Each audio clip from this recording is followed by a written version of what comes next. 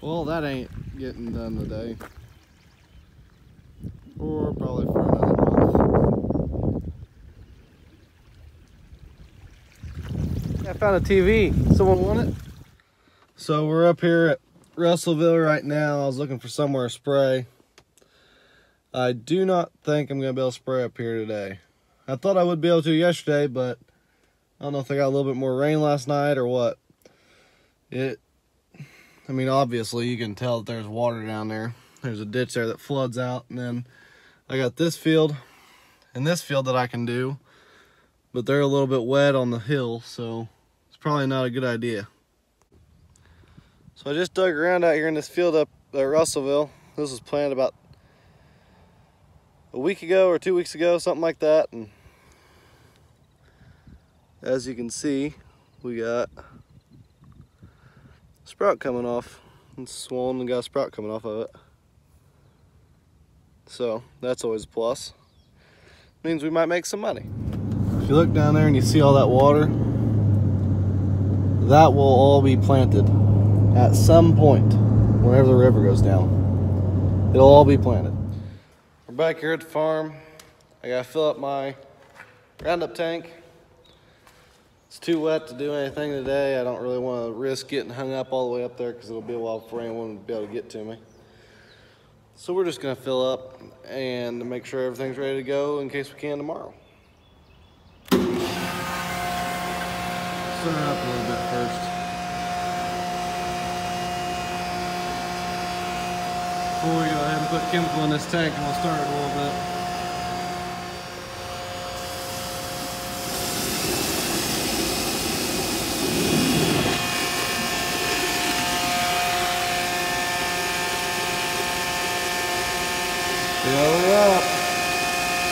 I need this pump, this pump now.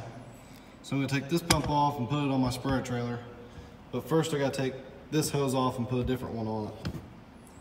That or I gotta take this off and put a meter on there so I know how much I'm putting in. I decided to just leave that hose and put the meter on. So that's what I did, just put the meter on there. Then I gotta take this pump and I gotta put it on my trailer on the other side of that wall. So we now got this pump figured out.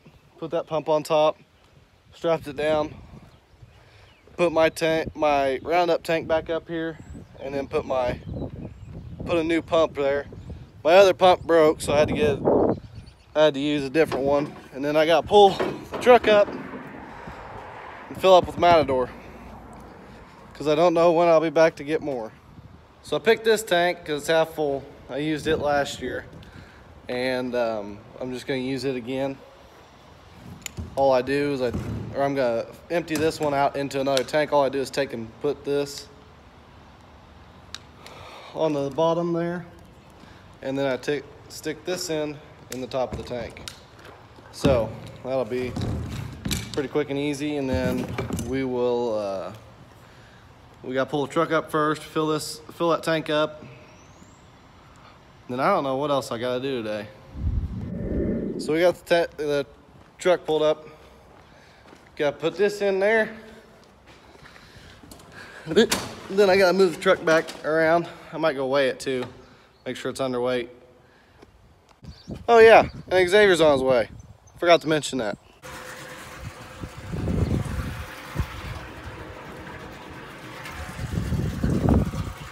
We'll have Xavier tell us what this means. Give me a look at your baby face. Hang on. Hang on. Xavier's here too. Hey. Ross is putting antifreeze in this. The we had to replace the radiator and stuff, and Hi guys. now you can see that Ross has no longer got a beard on him. Give it two weeks and it'll be back. Goal. Comment below if you think he's if you think he looks like a baby now with his baby face. Okay, You don't even have to do that. I already know. So Just remind them of it. so it's a little wet. It was a little wet to do anything yesterday. This is Wednesday. We're back out here at the farm. We're circulating water through that tank so that we can use it for chemical like what we did this other one and put Roundup in it. Extent Roundup Weather Max.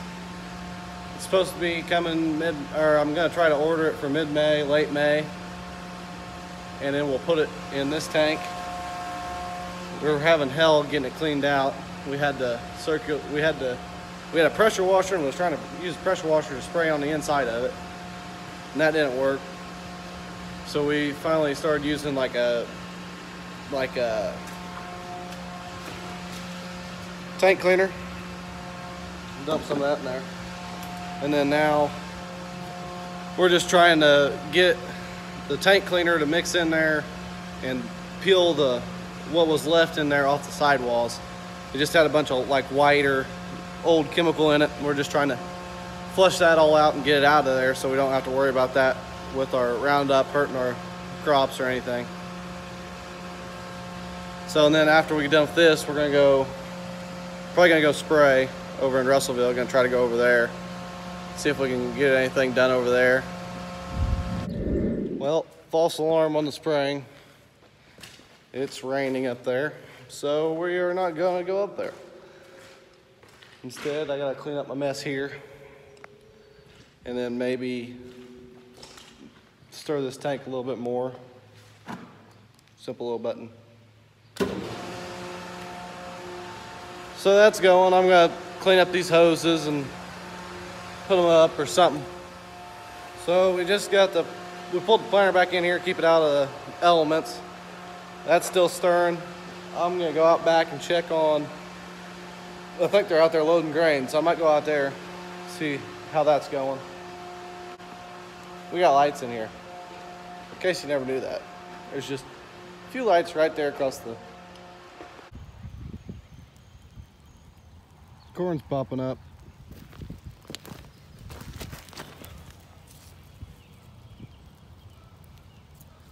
Looking pretty good so far. Here, I'll go ahead and dig this up. It's pretty good. Looks pretty good. Not so bad. We got all this here growing. We'll wait. We'll wait a while before we ever run out of irrigation because we try to get the corn to grow its roots down so it doesn't fall over. Yeah, it's looking pretty good. Starting to rain on me too. It's got a pretty long root on it for being.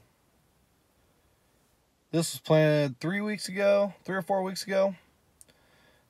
And it's got a pretty good sized root on it for being planted that long ago. Looks pretty good though, as far as that goes. You can see that it's got its nice green color. Looks like it germinated okay and came up a little squishy on the bottom though. That's okay, that's what you want. See, it's got a red, it's red. So yeah, we'll do another one, another corn update. We'll probably start, I'll probably start doing about every video. Because it's pretty neat to watch them grow. And then I don't know that we will put any anhydrous or any uh, nitrogen on or side dress it between the rows. We do sometimes, but not very often. It just depends on how it looks whenever it gets up. But that looks pretty good right now. But we'll see how it looks in a couple weeks whenever it gets to be about knee high. So, okay, what are these two doing? There's two people fishing here, and I have no idea who they are. We'll have to go over there and see what they're doing. I don't think they have any business being here. The one guy's even got a Make America Great Again hat on. And look, he's got a Ford. We don't support Fords around here. So this pump no longer works. Uh, they say that there's a fuse inside here or some kind of trip thing or whatever. So I'm gonna take it apart and find out. I have never taken one of these pumps apart, so it's a learning experience. Probably ought to get the hose and stuff out of the way first though. Kobalt toolbox, get one. They're nice. So far I got this bracket off. And I'm working on getting these two bolts out.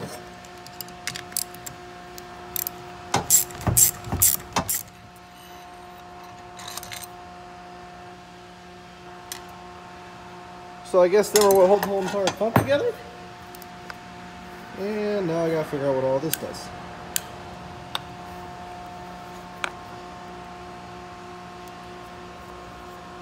Yeah, I've never had one of these apart before, so I, I have no idea what I'm looking at.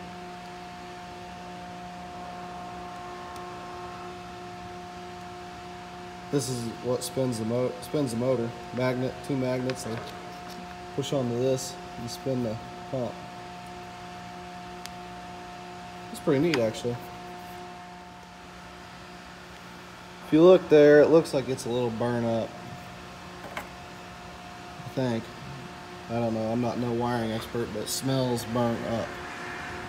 That's the magnet. That's what that's what spins this. When electricized, when when you get electricized, this magnet spins this magnet.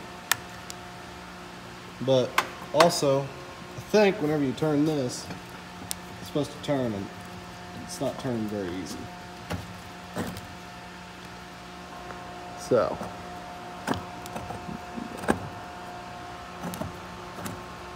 It's doing something now.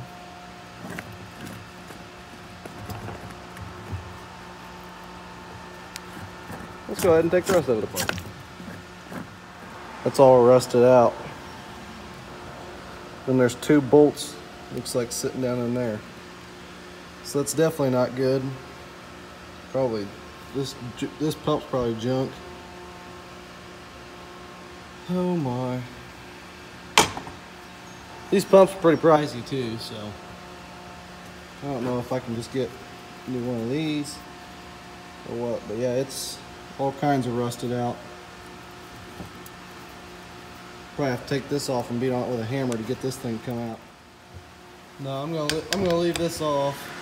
'cause, uh, I'll have someone look at it, tell me if it's bad or tell me this bad, which I think the I think the so the thing that pumps your chemical in here is bad. So that's gonna be this probably means that this pump's junk, more or less.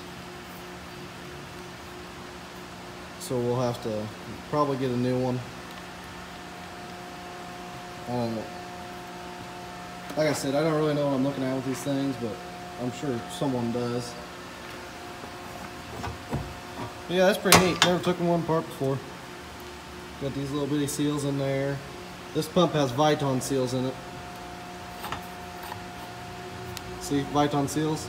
That basically means that you don't want to pump white chemical, you want to pump your darker chemical with it. So like your rifle and dicamba and stuff like that.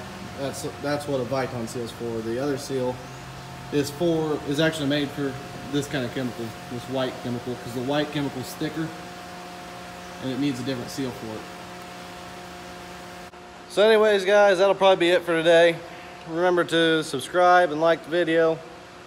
Leave a comment down below if you got any questions or if you got any ideas on what could be wrong with that pump, because I have no idea.